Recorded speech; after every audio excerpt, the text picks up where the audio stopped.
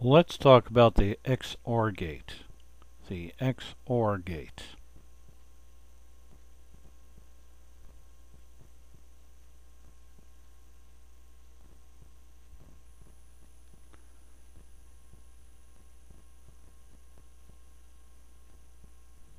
In an XOR gate, exclusively one input. How many inputs? One input or the other, that is the other input, must alone be on.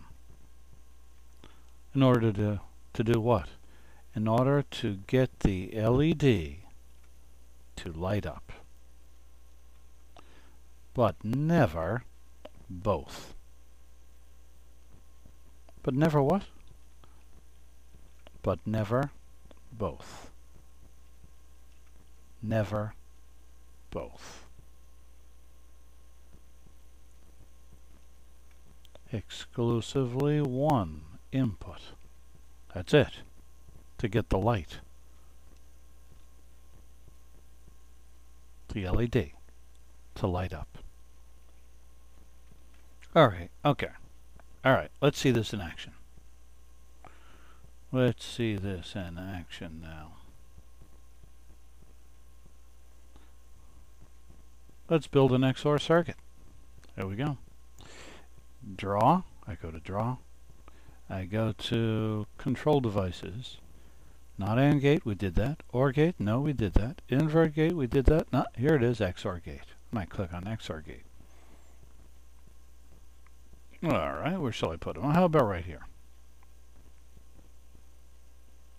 That's fine. How about uh, two inputs, two lights, two switches.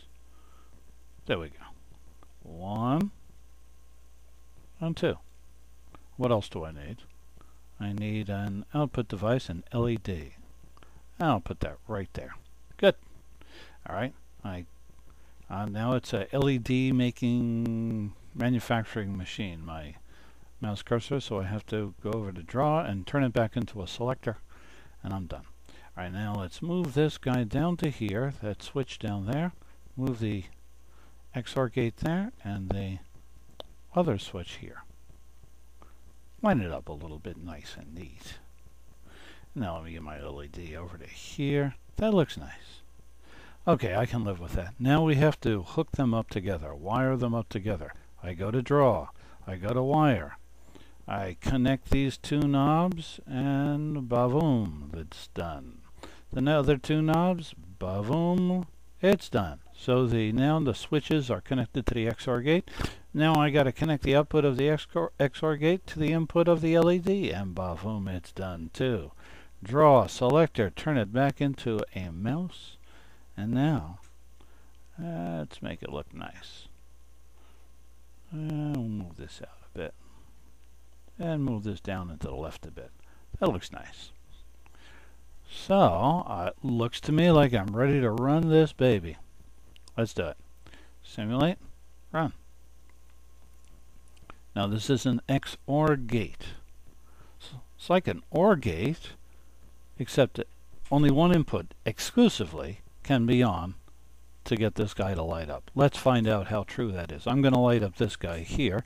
It's currently there's a 0 on the input line. I click on that 0, turn it into a 1, and a 1 goes in here, and boom, goes right into the LED, lights up.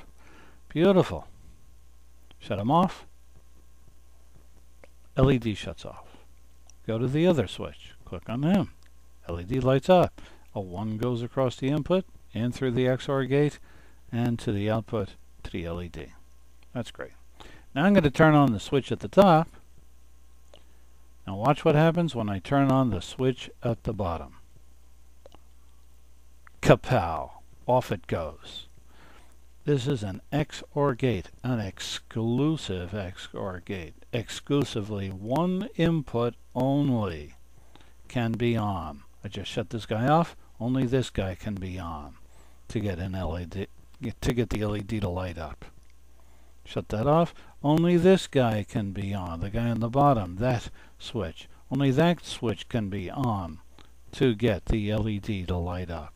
Exclusively one or the other can be on, but not both. I turn them both on, watch what happens to Mr. Light. Bam! He goes to the island of Bye-bye. Off he goes. Huh. What do you know? So, once again, in an XOR gate, exclusively, exclusively one input and just one input. Or the other. One input or the other must alone be on. In order to do what? To get the LED to light up. But never, ever both.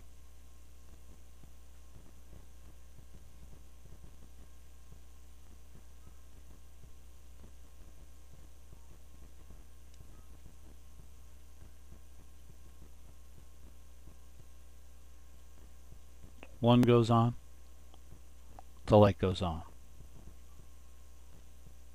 Two goes on, light goes off. Two on, lights off. One is on, the light goes on. What do you know? What do you know?